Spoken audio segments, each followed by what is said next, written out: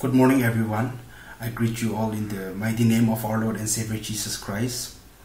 The Word of God in Romans chapter 8, verse 39, it says, Nor height, nor depth, nor anything else in this all creation will be able to separate us from the love of God in Christ Jesus our Lord. How fortunate and how privileged we are that nor circumstances nor situation around us can separate us from the love of God. So even as we worship our God this morning through this online service, let's all be reminded of the great sacrifice and love our God has done for us. Shall we all unite our heart and look to God in prayer? Our God, we thank you so much for this morning that you've given to us. Thank you so much for your love, for your mercy, and for your faithfulness. Thank you so much, Lord, for this privilege and opportunity that you have given to us once again to worship you through this online service, Lord. I pray for all the participants, Lord. May their participation be a blessing for each one of us who witness this uh, service, Lord. I especially would like to pray for our speaker, Reverend Paras, even as he delivers the word of God to us this morning. I pray to you that, Lord, you will use him as your mighty instrument, Lord, so that, Lord, through him we all will be blessed richly, Lord. Thank you so much for this time, committing each one of our lives and entire service into your loving hand. In Jesus' name we pray. Amen.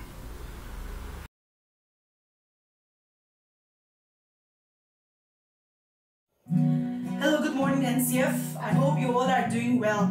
Well, in times of joy, in times of need, in times of our brokenness, and the darkest hours of our lives, we need Jesus. And at this time, many of us may be looking around and question, where is God? May this fact encourage us all that God is faithful. Let us take this time to discipline and to train ourselves into looking upward and seeking His face. Because regardless of whatever circumstances that we are facing right now, God is faithful and He is sovereign. Let us all sing this song together. Lord, I need you.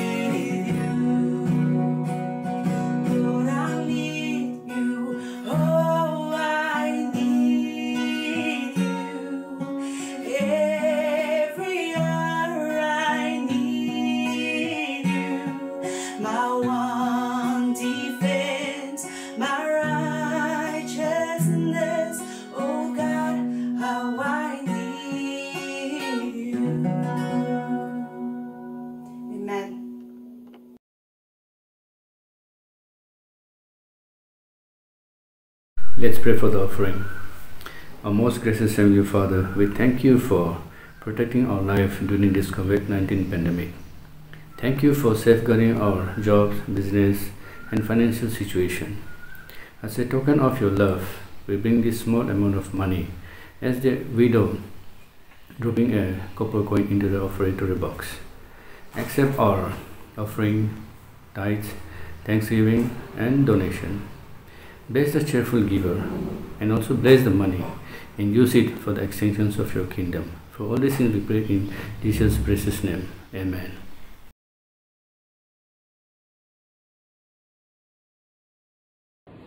The scripture portion for today is taken from Jeremiah chapter 32, verses 15 to 25.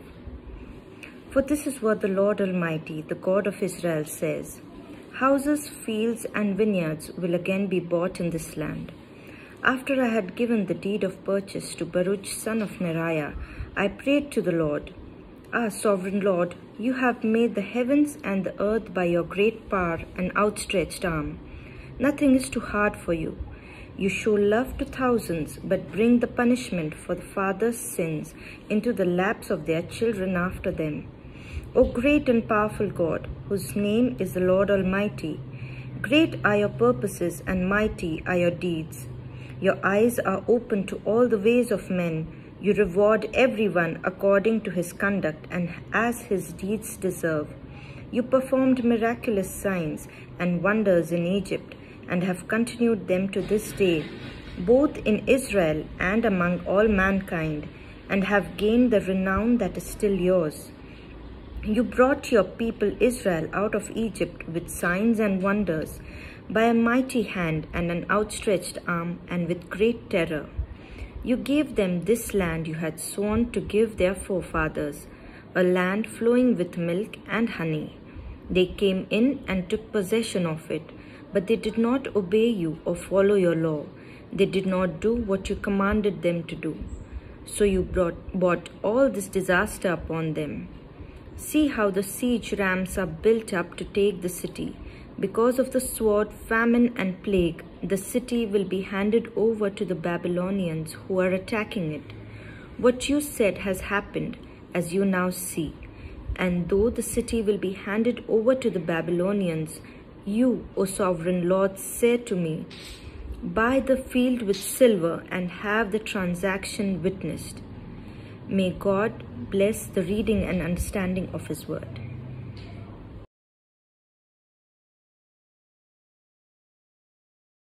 Good morning.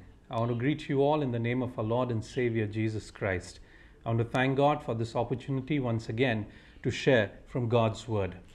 If you have your Bibles with, with you, please keep them open to Jeremiah chapter 32, and we will be looking at a few verses from there. Shall we look to God in prayer before we turn to His Word? Our Heavenly Father, we want to thank you and praise you for this new day. We thank you, Father, that each new day reminds us of your grace and your mercy that flows into our life so freely. Father, we want to commit ourselves into your care Father, as we turn to your word, as we meditate on it, Lord, we pray that you would speak to us, and Father, that you would draw us closer to you. Father, that we would be transformed into the likeness of Jesus as we meditate on your word. And Father, we pray that we would be more than just hearers. Lord, you would give us the grace to do what you ask of us today. To that end, Lord, we commit each and every one of us in your hand, for we ask all this in Jesus' name. Amen. A.W. Tozer, uh, a great scholar, once made this statement. He said, What comes into your mind when you think about God is the most important thing about you. What comes to your mind when you think about God is the most important thing about you. What he was essentially saying is this that how we perceive God, how we visualize God, or our conception of God shapes the way we live. In our highs and in our lows, how do we turn to God? What do we think or who do we think God is? And the answer to that question, who we think God is, will eventually shape the way we respond to life's certainties or uncertainties. We are living in a time when things are so difficult. We are living in a time when things are uncertain, when there is this fear of future. We have so many questions, so many doubts because of the COVID uh, pandemic that is spreading, whether it is to do with jobs, whether it is to do with salary cuts, whether it is to do with our own relationships, or whether it has to do with our own health. And in the midst of this, the question rises who do we say God is? Do we think God is still on the throne? Can we say God is still in control of the affairs of the world? How we answer that question will largely shape the way we live our life out. The passage that uh, was read to us, Jeremiah 32, verses 16 onwards, is essentially Jeremiah's prayer uh, in which he affirms God's sovereignty in a very, very difficult time. Jeremiah himself was going through a, a, a, period where there was a lot of uncertainty, where there was a lot of fear. And it is in the midst of that context that he affirms that the God he worships is a sovereign God. And I believe that in our own day and age, we need to rediscover God's sovereignty in our life. We need to discover God's sovereignty over the affairs of our world. You know, Jeremiah's own ministry was one that was marked by suffering.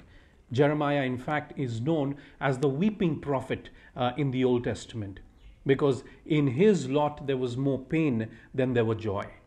And so, what he has to say in these particular verses has direct bearing on our life and how we live our life. When you look at Jeremiah's prayer in Jeremiah 32, verses 17 onwards, Jeremiah refers to God as sovereign God. Twice. Verse 17, he says, Ah, sovereign Lord. He begins his prayer on that note of God's sovereignty. And again, when you read towards the end of that prayer, in verse um, 25, the last part, he again says, You, O sovereign Lord. So he boldly and confidently affirms that the God he worships is a sovereign God. What does it mean for God to be sovereign? In fact, Jeremiah himself answers that question in this prayer. In verse 17, the last part, he says, Nothing is too hard for you. Nothing is too hard for you. What does it mean for God to be sovereign? Simply this that nothing is hard for God, that everything is possible for Him. Chuck Swindoll, um, you know, when he defines God's sovereignty, he defines God's sovereignty in this way. He says, God is able to do what He pleases with whomever he chooses whenever he wishes. God is able to do whatever he pleases with whomever he chooses whenever he wishes. In other words, God has no boundaries. God cannot be put in a box. There is no limit. But our God is a God of possibilities. Now, the context of the passage that we are reading is where Jeremiah has been asked to buy a piece of land and he buys this piece of land. He goes through the legal proceedings of it. He uh, seals the deal, pays the money, does everything according to uh, the requirement of the law. And after he has bought that land, then in verse 17, Jeremiah says what he has to say. Now, what is the connection between buying a piece of land and God's sovereignty? You need to understand what was happening in Jeremiah's time. Jeremiah chapter 32 tells us that the king of Babylon had laid siege on Jerusalem. It was just a matter of time before the Babylonian army would invade, would enter Jerusalem, would destroy everything. And at a time such as this, it was almost foolishness to invest in real estate because there was no way Jeremiah would have been able to enjoy what he was going to buy. But when you read uh, chapter 32, verse 6 tells us that the word of the Lord came to Jeremiah. And Jeremiah was told very clearly by the Lord that your cousin Hanamel is going to come and he's going to sell a piece of land and you must buy it. Don't just buy it as a verbal transaction, a transaction, but buy it from a legal perspective. to all the paperwork that is required. And the reason why God asked Jeremiah to do that is that Jeremiah would be giving a sign to people that though the situation is bad now, God is going to restore this land. In fact, in Jeremiah chapter 32 itself, towards the end, in verse 44, God says this through Jeremiah Fields will be brought for silver, and deeds will be signed, sealed, and witnessed in the territory. And so, what God is telling Jeremiah is essentially this that though the situation is bad now, remember I am sovereign. Though the king of Babylon and the uh, Babylonian army is a reality in your life right now, remember I am sovereign even over those present and clear dangers. And I think in our day and age, we need that affirmation, don't we? We need to be reminded that though there is so much uncertainty around us, the God we worship is a sovereign God. The God we love and follow is someone who is still in control over the affairs of this world.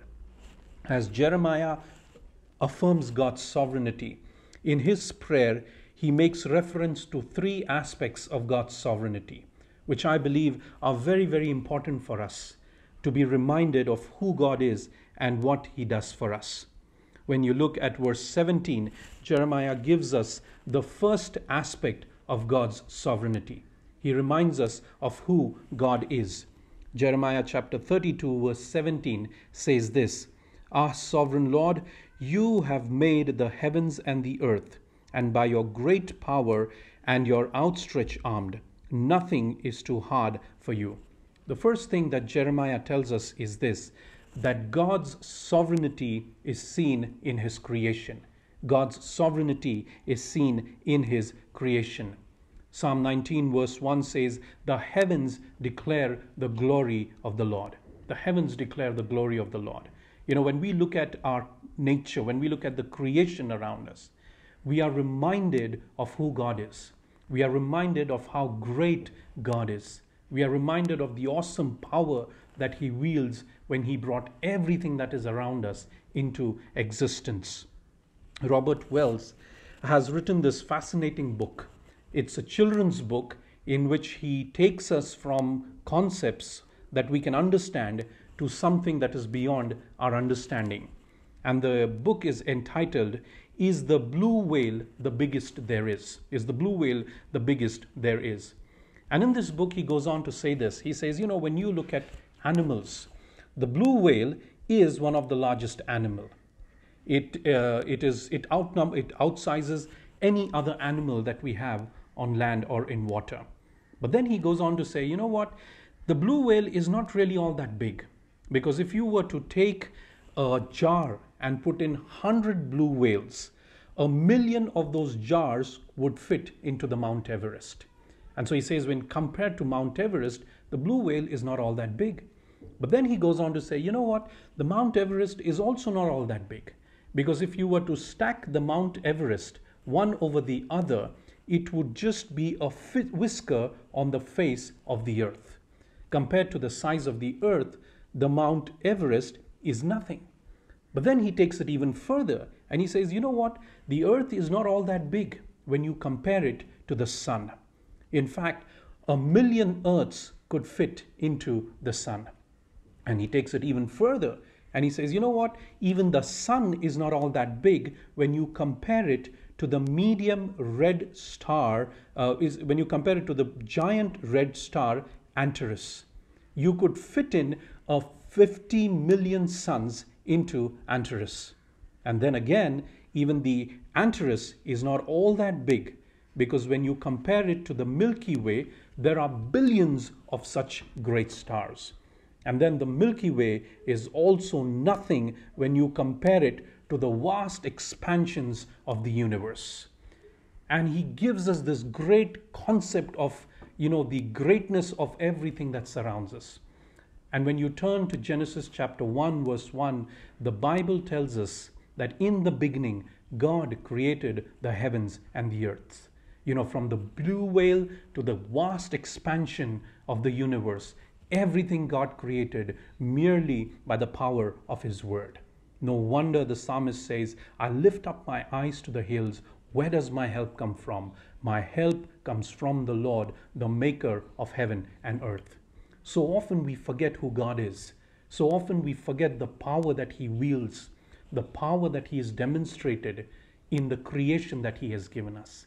And I think we need to lift our eyes to the hills, to the lakes, to the rivers, to the seas, and remind ourselves that the God we worship is a great and awesome God. That He who made everything out of nothing can take your life and my life with all the struggles, with all the problems, and make something good out of it, even when we go through difficult times. So, the Word of God reminds us that God's sovereignty is seen in creation. Secondly, God's sovereignty is demonstrated in His revelation through history. God's sovereignty is demonstrated in His revelation through history. When you look at verse 20, the Bible says this Jeremiah 32, verse 20 You performed miraculous signs and wonders in Egypt, and have continued them to this day, both in Israel and among all mankind, and have gained the renown that is still yours. Verse 21 You brought your people Israel out of Egypt with signs and wonders, by a mighty hand and an outstretched arm, and with great tre- terror. You know, Jeremiah is reminding the people of Exodus.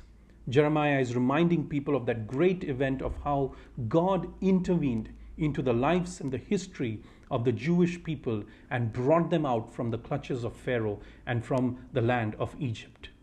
And when you look at Jewish history, when you look at Jewish theology, Exodus was a very, very important aspect. For them, Exodus was not just another story.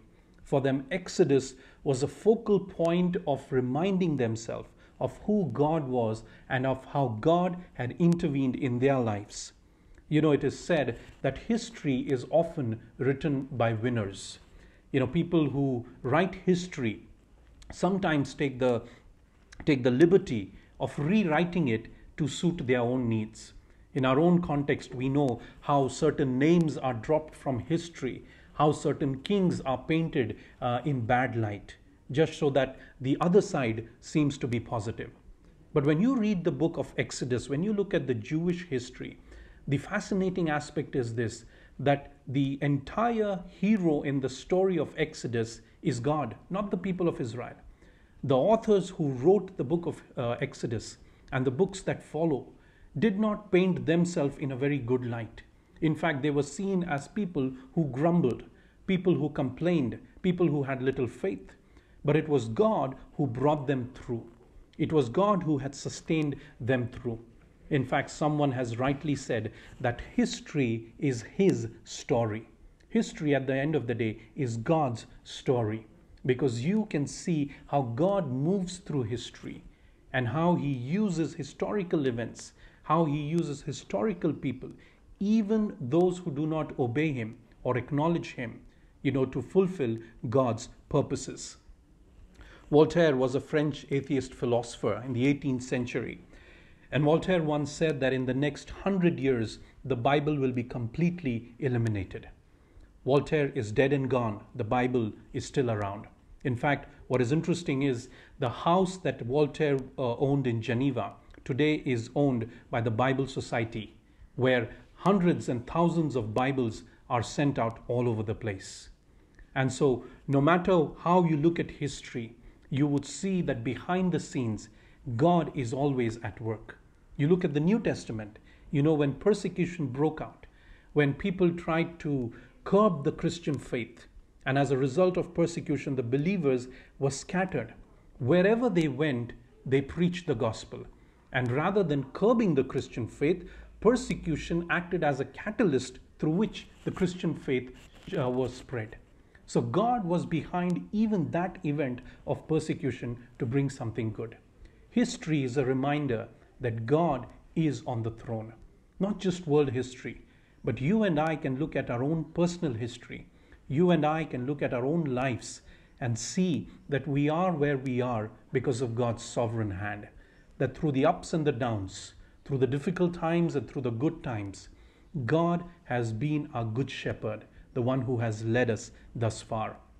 And if God can control history, if God can move history, then you and I can be sure that God will continue to lead us and guide us even through this difficult time.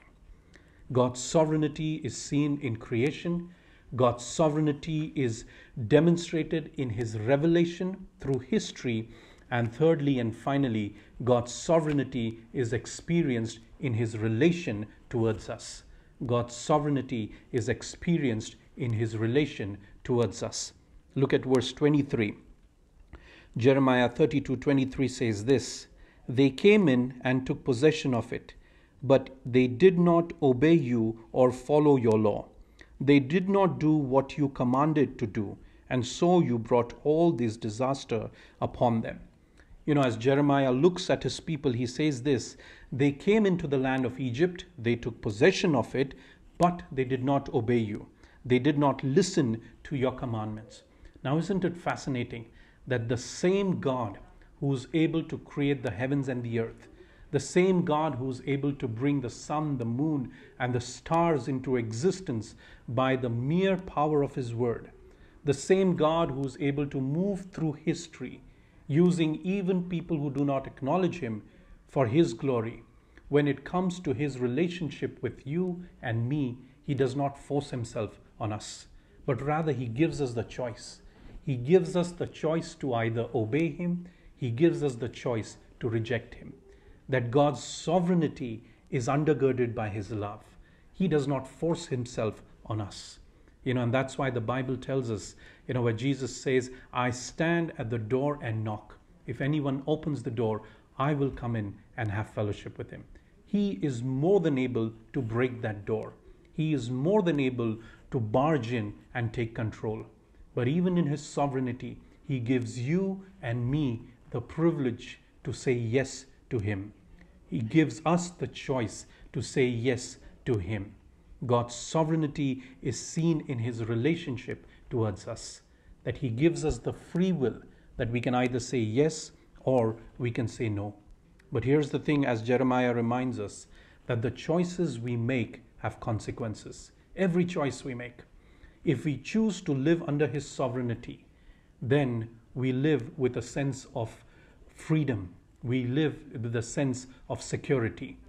But if we choose to reject His sovereignty, then we live in anxiety and in fear. Jeremiah was facing a difficult time in his life, and yet, because he recognized that God is sovereign over the throne, that God is sovereign over the affairs of the world, he was able to do something that maybe in the eyes of the world looked rather foolish to buy a piece of land when the enemy was at the gates, when the enemy was about to enter and destroy everything. So often, what God asks of us may seem foolish to the world, and yet, at the end of the day, it all boils down to this one question Who do you say God is in your heart? Because how you answer that question is the most important thing about you, about how you live your life. So God's sovereignty is seen in his creation. God's sovereignty is seen, is demonstrated in his revelation through history, and God's sovereignty is also experienced in his relationship towards us. It is my prayer that as we live through these uncertain times, that as we live in the midst of our fears and our doubts and our anxieties, that we would constantly lift up our eyes from our problems and see God seated on the throne, that we would see Him as the one uh, who has control over the affairs of the world. And when we lift our eyes and when we fix our eyes on Him, may that bring a renewed sense of peace, grace, and assurance in our life that no matter what happens, no matter what is in store for us in the future, God is sovereign and He will see you through. Would you please pray with me? Our Heavenly Father, we want to thank you for your word. We thank you, Lord, for the reminder that you are a sovereign God, that, Father, nothing is difficult for you. And so, Lord, this morning we want to commit ourselves afresh into your hand. We want to commit our struggles, our difficulties, our issues that we think are so difficult into your care. And we want to exchange it for the peace and the assurance that only you can give, knowing that you are sovereign not only over the affairs of the world, but even over our personal affairs. And so, Father, we pray that you would continue to speak to us, continue to draw us close to you, and Father, that you would continue to mold us in the likeness of your Son. To that end, Father, we commit each and every one of us in your hand. For we ask all this in Jesus' name. Amen. God bless you.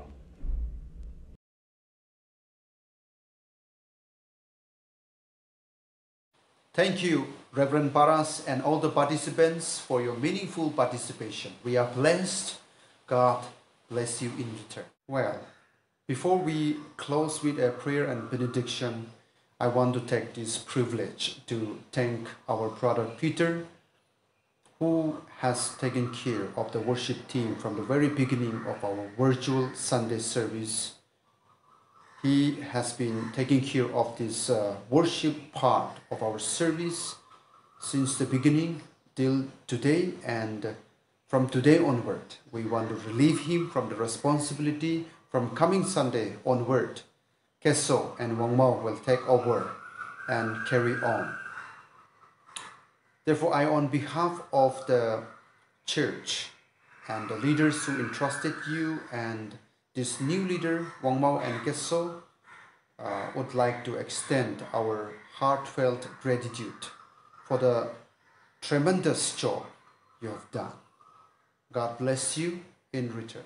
Shall we all look to God in prayer?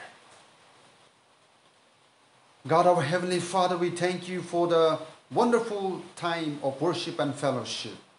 Thank you for being with us from the beginning till the end. And we thank you for our brother Peter, who served the church during this transitional period and during this uh, pandemic, doing tremendous job as a worship leader and uh, worship in charge. We have nothing in return, but Lord, for all the good works he has done, may you bless him in return. We also remember our brother Doshi, who is now in Nagaland because of the loss of his father. We thank you, Father, for enabling him to go and see his father's face, who departed to be with you. Today we pray for his mother and his sister and Doshi. Continue to strengthen them and help them to draw comfort from your word. Remind them that, Lord, their beloved one has gone, not forever, but for some time. And one day they will all see each other again face to face. Thank you for what you have done in and through Jesus Christ on the cross and for the resurrection of our Lord. Because of whom and because of what he has done, we have hope even beyond this life. Thank you once again. We also pray for Nashun and his mother who are hospitalized. Father, we pray that you will be with them. We know that very less people visit them. We know that, Lord, they are feeling lonely during this time. Help them to feel your presence like never before. And Lord, may you fulfill your promises which you have in the scripture. Especially Isaiah 41, verse 10, we remember where you say not to be dismayed, not to be afraid, because you are our God, because you will help us and you will uphold us with your righteous right hand. May this promise come very much alive in the lives of Nashun and his mother during this time of not uh, isolation and during this time of sickness. Please reach out with your healing touch and heal them and bring back to normal life so that they will enjoy all the blessings you have given them and they will become a great testimonies for the people and will become great source of encouragement and support for the people who would go through similar situation like they are facing they are going through right now we pray for the family members who are supplying all their needs and supporting them in uh, many ways. Continue to strengthen all of them. We also pray for the doctors and the nurses. Bless them, protect them, and help them to give their best help to Nashun and his mother, Shika. We pray also for alumni, well-wishers, and all the members of NCF here in the city and also away from the city, wherever they are. Bless them and keep them and protect them. And if there are members sick and weak. Bring healing in their lives and help them to experience your healing touch in an amazing manner so that, Lord, they will live to glorify your name and to be your witnesses wherever they are. Thank you once again for everything. Now may the love of God our Father, the grace of our Lord and Savior Jesus Christ, and the sweet communion of the Holy Spirit be with you both now and always. Amen. Thank you once again, everyone, for being with us in this service. See you coming Sunday. Till then, take care of yourself. God bless you.